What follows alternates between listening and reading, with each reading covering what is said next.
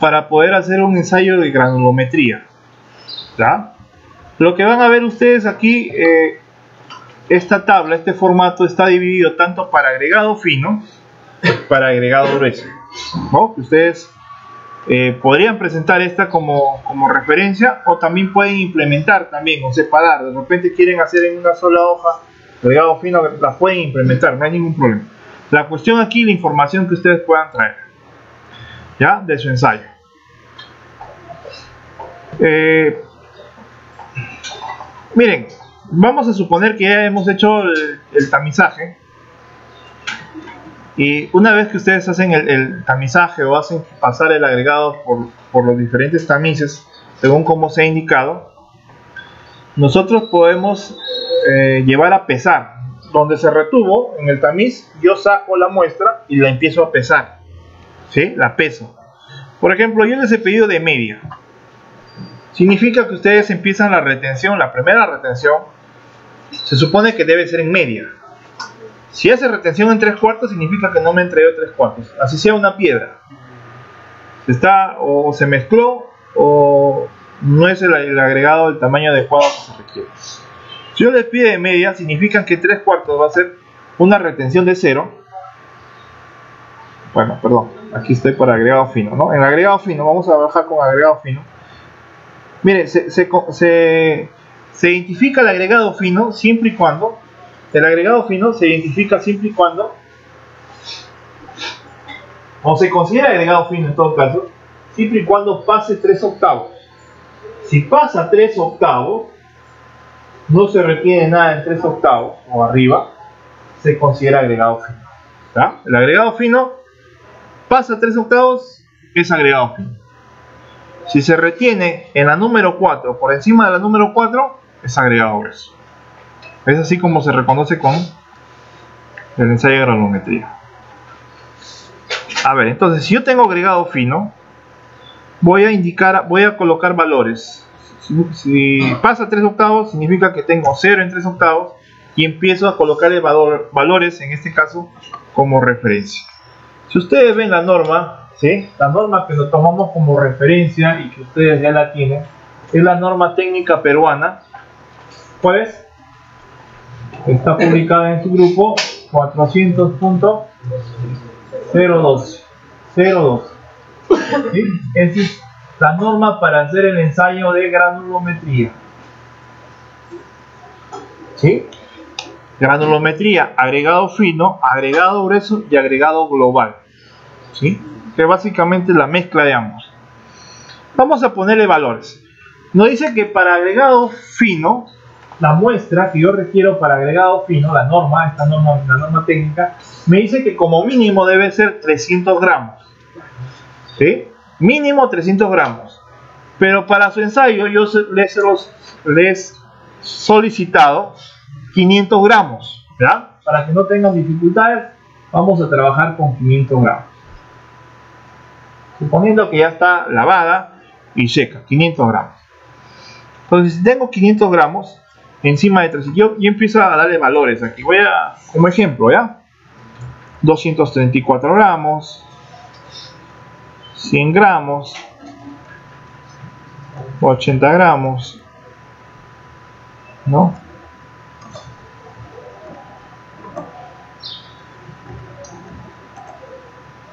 Vamos a suponer que en el platillo también tiene 3.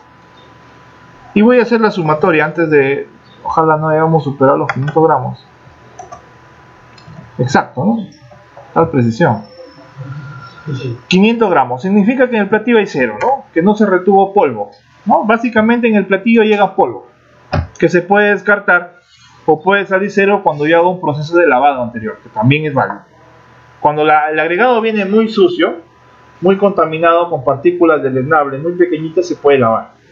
Se lava, se lleva a la cocina o se seca la intemperie, se seca, hasta que la cara exterior quede sin humedad tanto la arena como la piedra. Entonces tengo 500 gramos. Miren, aquí lo que ustedes pueden ver en las columnas es el tamiz, los que son para el agregado fino son en pulgadas y abajo ya vienen números, número 4, 8, 16, 30, 50, 100, 200. Que son los establecidos, son establecidos para agregado fin.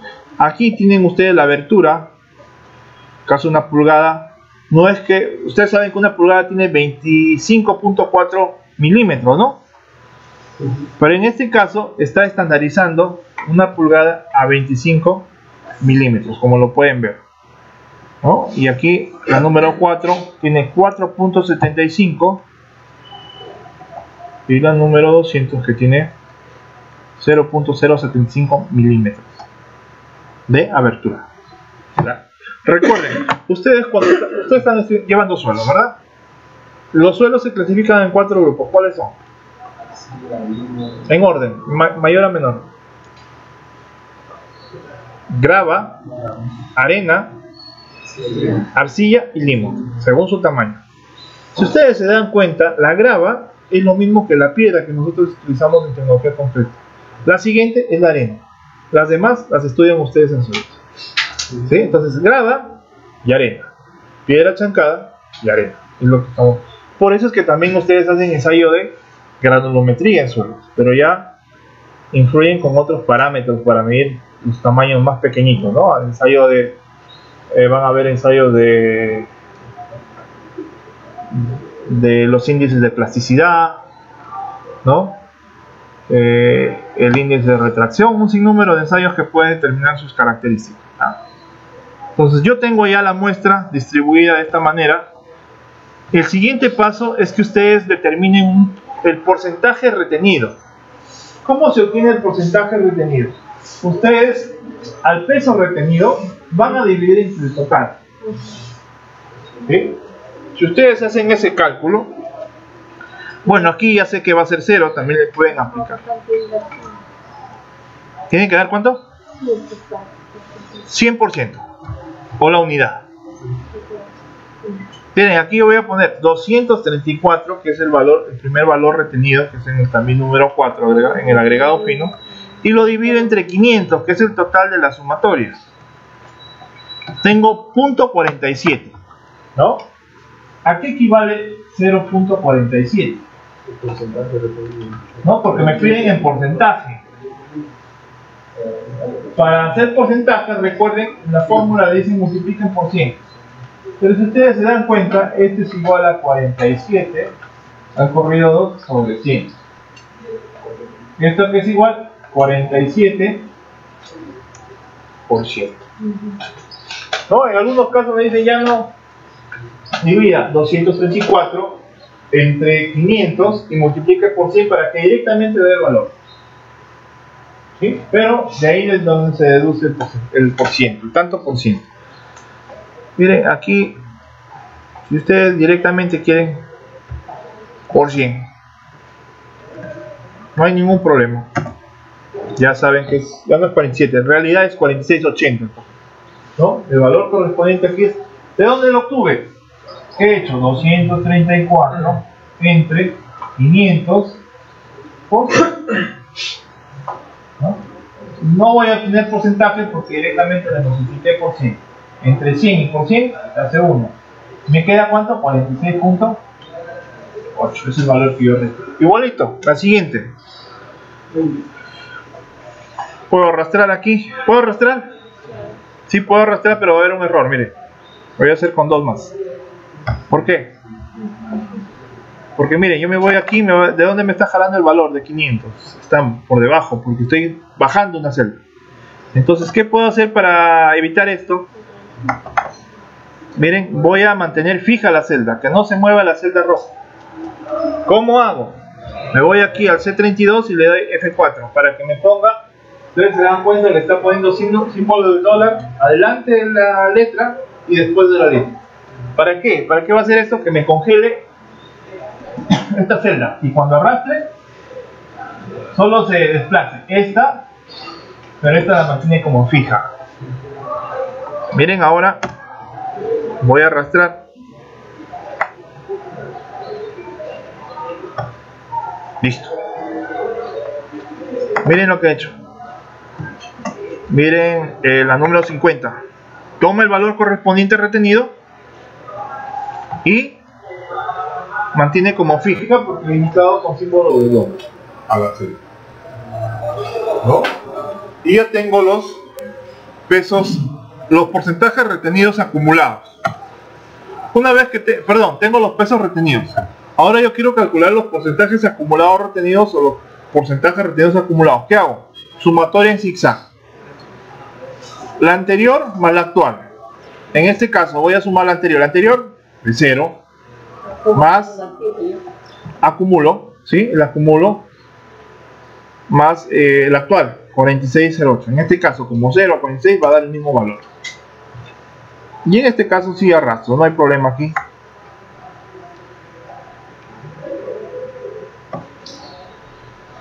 Llego al 100%. Si ustedes verifican, todo esto también debe dar 100.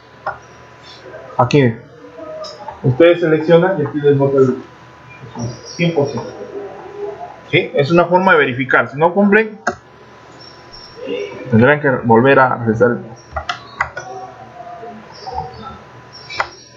Listo. Ahora, ahora van a determinar el porcentaje acumulado que pasa.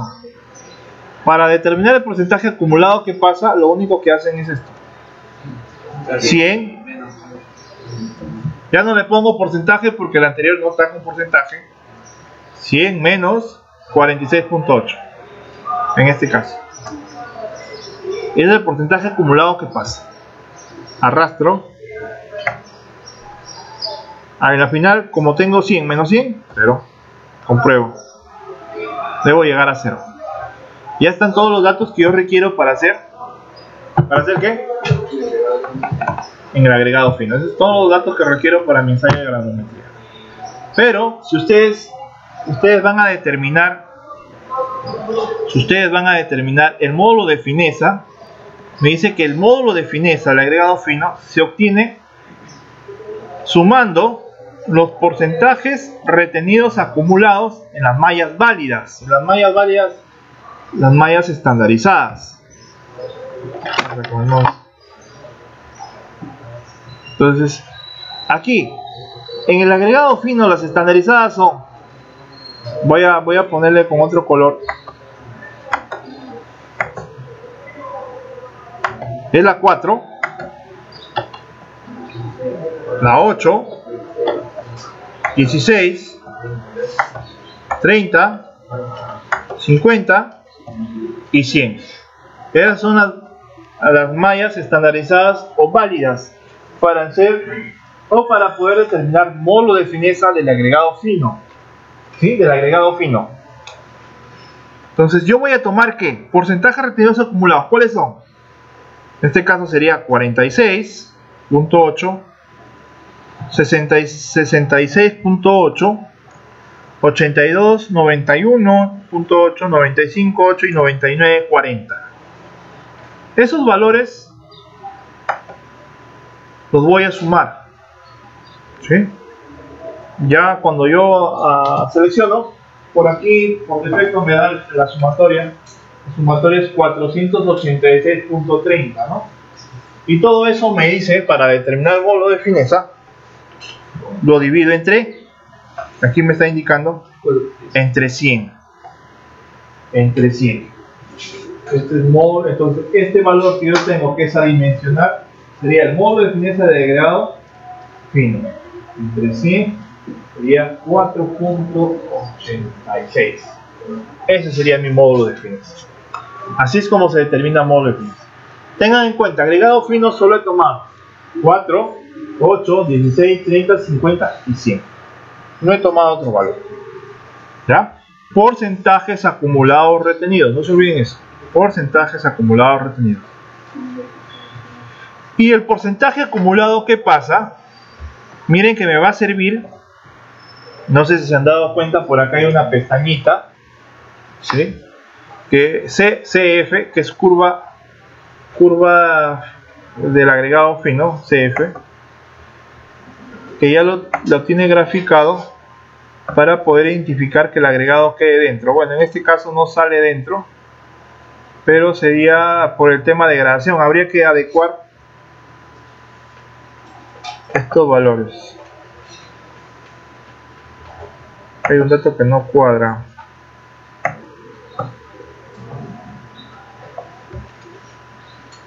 $4.75.0 dice. Y en todo caso reducimos la curva y aquí no le ponemos 0 sino lo jala con la línea ahí, esa sería la curva ustedes están viendo aquí en, esta tabla que es, eh, es una semilogarítmica la parte inferior punto 1, 1 y 10 miren. Entonces aquí tengo los valores del límite inferior o sea el rango que debe encontrarse el valor. Parece que está en 80 así 80 a 100 de 75 a 100 entonces me permite poder generar o sea con los datos que yo tengo acá de porcentaje que pasa estos datos estos datos de, porcentaje que pasa 5320 no 5320 están pasados aquí y yo los comparo con el límite inferior límite superior de un buen agregado esta curva azul debería estar dentro de este rango para considerar un buen agregado.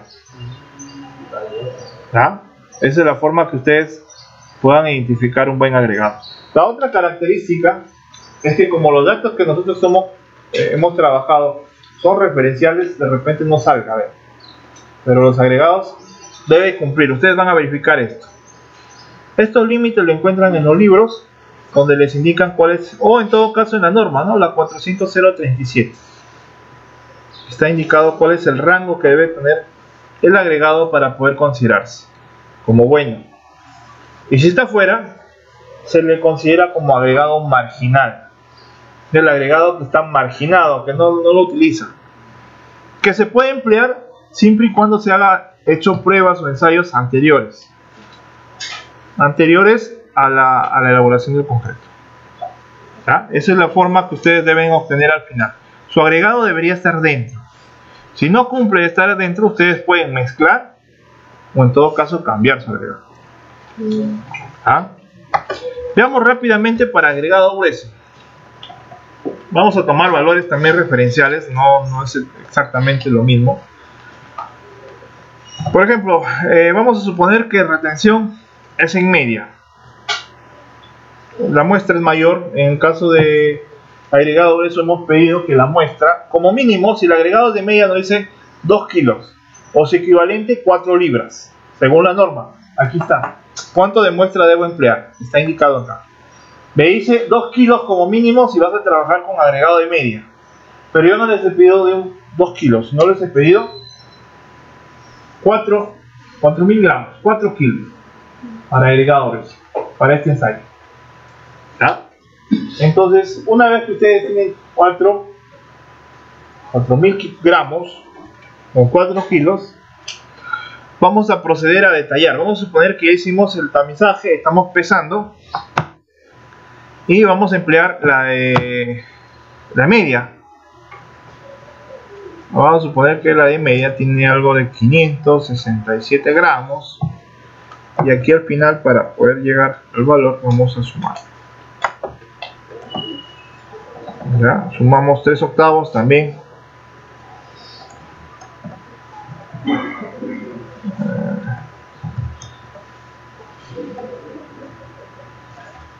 Vamos a ponerle valores como ejemplo, como referencia para poder hacer el cálculo. para el kilo? Sí, lo que pasa es que el grueso, recuerden, yo les estoy indicando que algunos agregados, eh, en el caso del agregado grueso, viene bien gradado, o sea, viene de tamaño más grande, más pequeño está considerado como agregado grueso, a pesar que trae fino, ¿no? Y se recomienda para que pueda cubrir esos espacios. Entonces vamos a poner aquí.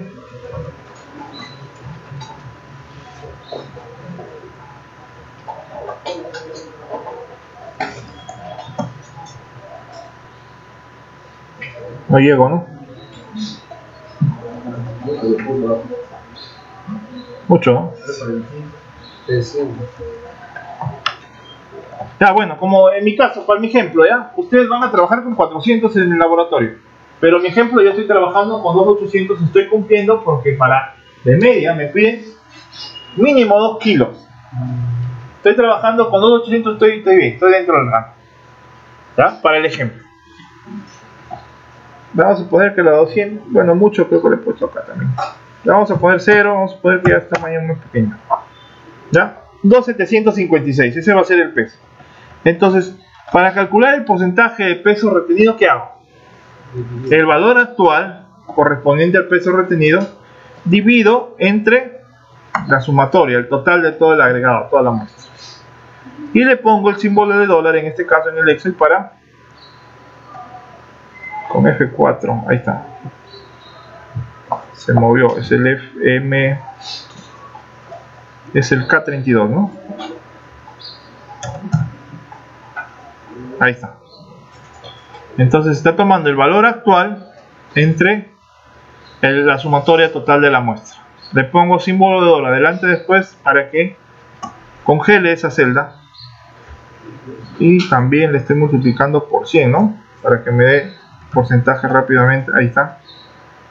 De arrastro. Si ustedes suman, miren cuánto está sumando. Aquí, 100%, ¿no? Es una forma de verificar que van bien. Ahí está. Todos los porcentajes retenidos acumulados deben sumar 100%. Ahí está. El siguiente procedimiento es sumar la anterior y la actual. Anterior, que es 0 en este caso, y la actual. Arrastro.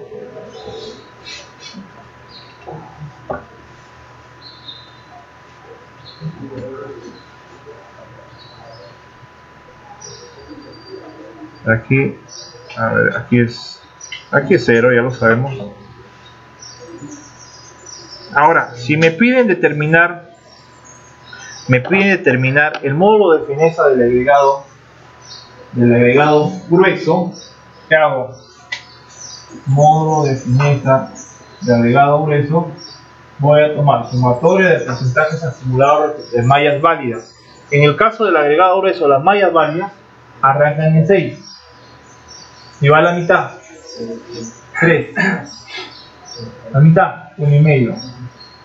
La mitad 3 cuartos la mitad 3 octavos estas son las mallas válidas para hacer ensayo de de módulo para determinar módulo de fineza entonces 6 la mitad de 6 3 1 y medio 3 cuartos 3 octavos identifico en mi caso con media trabajo no.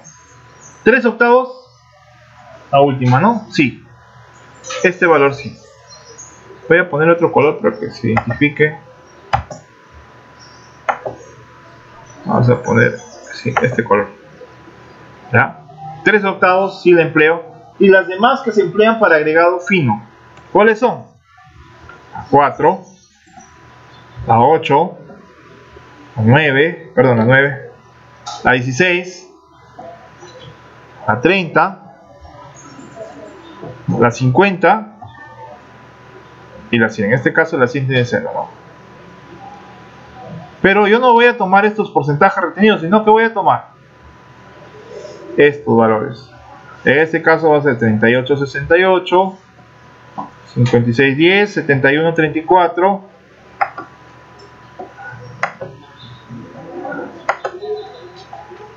Miren un detalle a pesar que yo no tengo muestra, no tengo muestra, cero de muestra, yo tengo porcentajes acumulados retenidos, ¿ah? 100. Entonces yo voy a sumar todo este valor. ¿Cuánto me da? 547.97. Entre 100 significa mi módulo de fineza 5.48, ¿no? Ese es el valor correspondiente. Ese es el módulo de... El módulo de fineza agregado grueso. Por los valores que yo he adoptado, de repente es muy cercano, oscila entre 6 7. A dimensionar, no tiene unidad. Ahora, el siguiente paso es que ustedes puedan determinar tamaño máximo y tamaño máximo no. ¿Cuál es el tamaño máximo? Máximo nominal.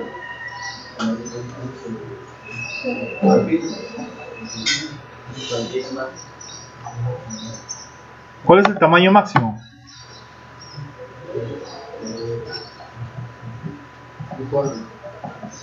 Muy bien, tres cuartos. ¿Por qué? Porque si ustedes se dan cuenta, la que hace la primera retención es media. Y si hace la primera retención es tamaño máximo nominal. ¿Cuánto es? Media pulgada, lo que se ha pedido. Y el tamaño máximo es una enzima. A mí. Eso es lo que quiero que ustedes tengan en ensayo laboratorio. Eso es todo. Verifican, hacen. También pueden verificar su curva. También pueden elaborar su curva acá. No, pero aquí, ¿por qué? Allá. Aquí no está jalando los valores, por eso es que no. A ver, aquí sería de media. Tres cuartos, no hay retención. Voy aquí tres cuartos. Tres cuartos, tres cuartos.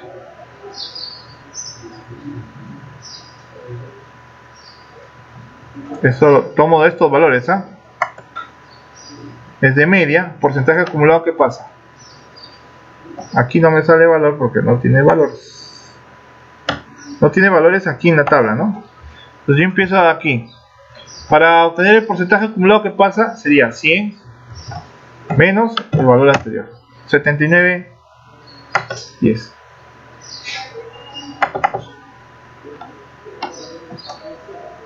¿Qué pasó acá? 3 cuartos.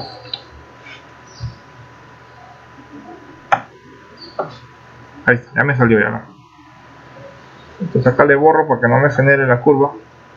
Vean que se va moviendo, ¿no? Voy a hacer de, de media y 3, 3 octavos. Aquí, lo único que hago es arrastrar. arrastrar. Media 3 octavos, ahí, 61 y 43. Voy a la. Ya me está generando la curva adentro.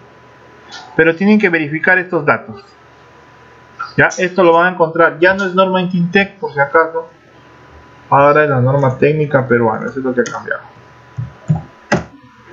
Ya no la administra de copy las normas técnicas peruanas, sino no la administra el INACAR. El Instituto Nacional de la Calidad es la que elabora y la que está produciendo las normas técnicas. ¿sí? Normas técnicas no solo hay para el, para el concreto, no solo hay para el cemento, también hay normas técnicas para el yeso, para el, eh, el café, para el cacao, entonces todo, todo se hace en base a normas técnicas, ¿ya? Entonces esto le va a servir como ejemplo para desarrollar su ensayo. ¿Existen estos formatos o pueden ustedes de repente... ¿Oh? Sí, también lo pueden elaborar en el Excel. Sí, también tienen que presentarlo. ¿sí? La curva ¿Cómo es ese gráfico? El gráfico solo van a añadir